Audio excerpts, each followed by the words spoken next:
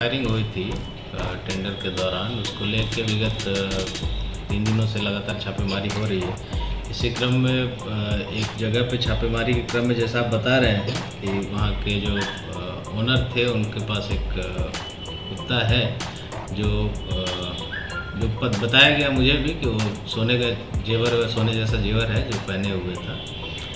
लेकिन चूँकि फोर्स कुत्ते को हैंडल करने में उस तरह से सक्षम नहीं थी तो उसको रूम में बंद करके बाकी रेड को कंप्लीट किया गया था और वहाँ पर कुछ अरेस्टिंग्स भी हुई थी। जो भी इस तरह का मामला है, अब उस जाँच का विषय है कि उसके पास कहाँ से आया, कौन दिया तो उसके मालिक ओबियसली उसके लिए जवाबदेह हैं वही जवाब दे सकते हैं, लेकिन उसकी हम लोग अलग से जाँच करा लेंगे। फ़िलहाल हम लोग का फोकस जो घटना हुई थी गोली चलाने की, यहाँ टेंडरिंग के दौरान, उसमें धर पकड़ की है और उसमें लगातार